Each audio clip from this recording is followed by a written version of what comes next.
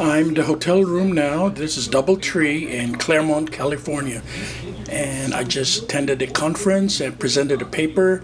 This is on Muslim perspectives on peace building. And it was a wonderful conference organized by Najeeba Syeed Miller and Christine Hong. Wonderful. And my moderator for my panel was Dr. Varun Soni. Oh, he was great too.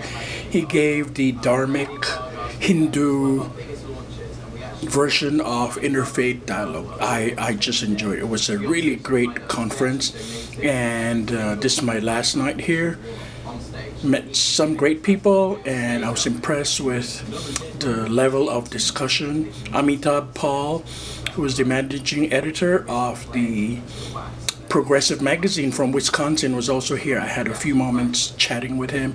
Met a Sikh Hindu American.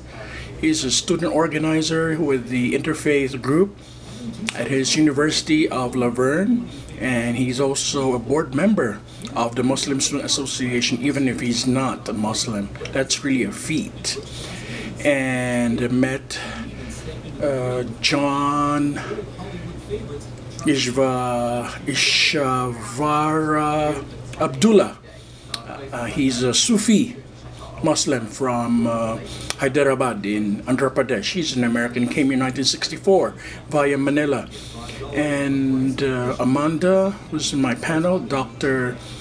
Uh, Montville, uh, Mark McCormack, and Hasima. Uh, they were all good, my panel, co-panel members. So this is a quick look of my hotel room. It's really a wonderful place. Uh, we're really regaled by their organization. So, thank you. See you later.